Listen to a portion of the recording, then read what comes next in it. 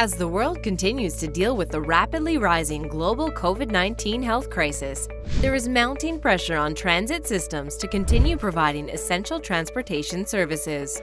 The health and safety of passengers and drivers are paramount to successfully delivering on this promise. According to reputable news sources, contact tracing has helped slow or stop previous epidemics, but has never been more critical or more challenging than in this fight against coronavirus.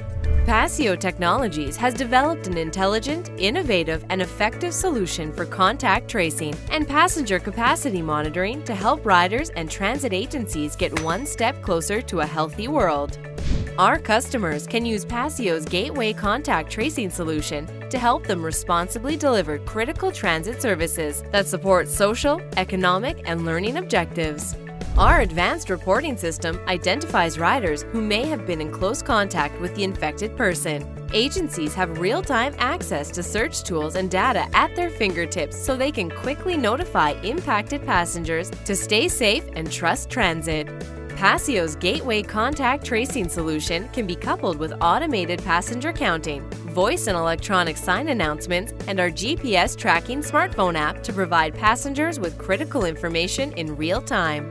Tracing and tracking are part of the first line to help control and eventually beat this pandemic.